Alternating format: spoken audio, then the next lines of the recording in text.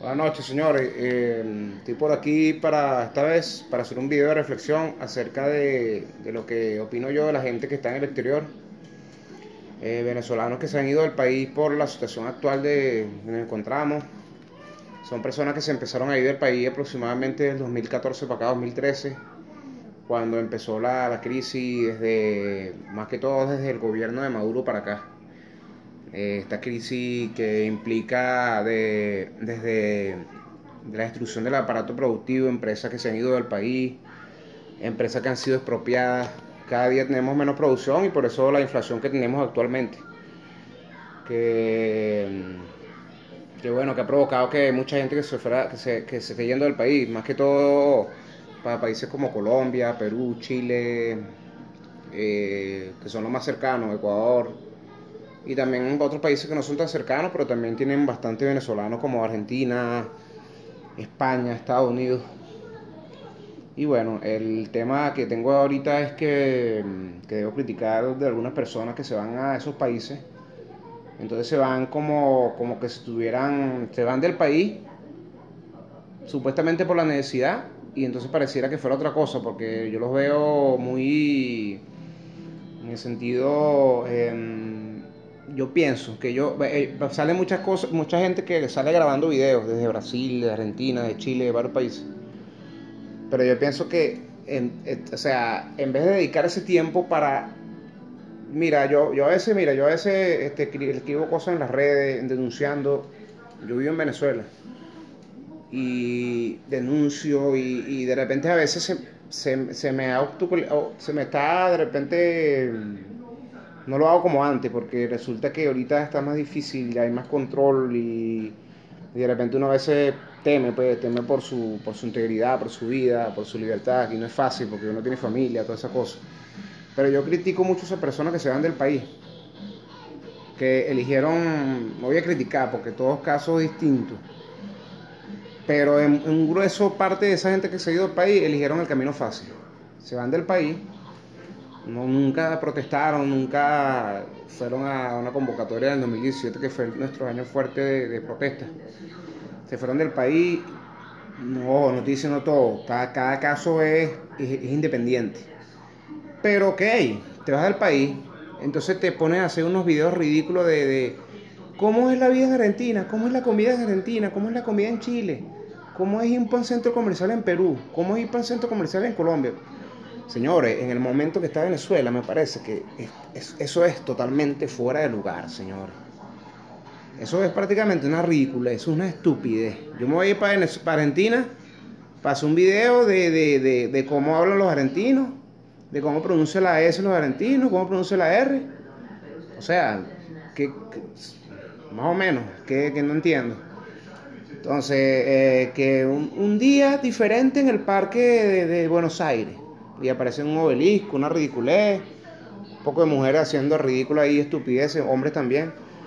Entonces, oye, mira, yo no digo que no lo hagan, pero coño, dedica, dedica tus redes sociales a denunciar, como, aprovecha que estás afuera y no te van a meter preso.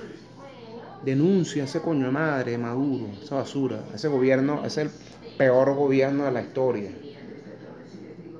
Entonces, o sea, ¿qué te cuesta hacer eso por tu país? Grábate, gra, ok, grábate un video ahí en Buenos Aires, en el obelisco de Buenos Aires, en el obelisco de, de qué sé yo, de, de, La Plata. Coño, qué bonito el obelisco de La Plata. Compara el acento venezolano con el acento peruano, o el acento ecuatoriano, el acento, está bien, haz tu video así, pero también dedico un tiempo a Venezuela. Dedico un tiempo a, a a, si nosotros todito bombardeáramos por las redes al gobierno. Yo creo que fuera un peso más determinante que, que, que, más, que, que ahí en la esquina, en la esquina del barrio, de la organización, donde vive, a quemar un caucho y a trancar una calle. Porque nosotros salimos a la calle en el 2017 y, y, y, y te digo, lo que salían en sí, el grueso que salía era como el 2% de la población, pero los que nos apoyan desde los carros si tú pones a sumar todos ellos, yo creo que podía pasar hasta más del 50% de la población. O sea, cada quien tenía su forma de protestar. De repente tú ibas en tu carro, pero te daba miedo bajarte, porque el miedo es entendible. No vamos a decir que no.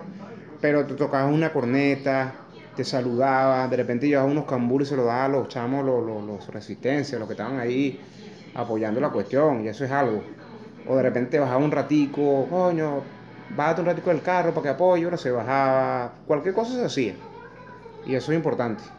Y yo no voy a decir que todo, claro, yo, yo, yo conozco unos taragallos, unos viejos que tienen 20 años, hombres fuertes, robustos y toda vaina, que dicen que le da miedo ir para las marchas, pero yo veía bastante personas en silla de ruedas, viejitos ancianos de 90 años en la, en la concentración.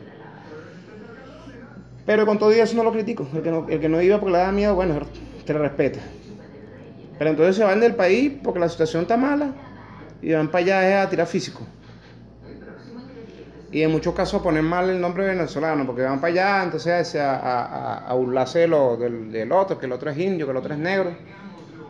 Entonces, el, el, el, no todos, pues, pero un grupo. Entonces, no, ese es otro, bueno, ese es otro tema. De verdad que yo me voy a dedicar al tema que estoy hablando ahorita, que es la cuestión de, de eso, pues, de, de, la gente que se va para allá a, a hacer sus su youtubers, o sea, están fuera de lugar, porque Venezuela no para esa, Venezuela, coño, si te, tú eres venezolano y Venezuela está viviendo esta, esta situación inédita en los últimos tiempos, nunca había pasado, una crisis tremenda, gente muriéndose de hambre.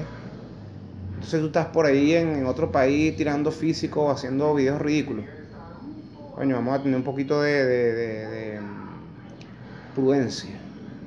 Y coño, de vez en cuando, cuando hagan sus videitos, sus cuestiones ahí de tirando físico, hagan sus videitos también de protesta. Enciendan esas redes. Insulten a esos coño madre por el Twitter, por el Facebook. Mala leche. Ustedes lo pueden hacer más que uno. Sin embargo, eso no lo hace. Y uno está regando el pellejo aquí porque no tiene familia, no tiene pobre. Entonces, bueno, eh, le dejo esto. Espero que, que nadie se sienta ofendido. Recuerden, no estoy generalizando. Yo no estoy diciendo que todo el que se va es malo. Yo no estoy diciendo que el, todo, que el que no estuvo en la protesta es malo. Cada quien tiene su forma de, expresar lo que siente y cada quien tiene su manera de ser. Pero más allá de esto, de igual manera, pienso que el video es bastante reflexivo. Espero que bueno, lo tomen en cuenta y analicen lo que estoy diciendo.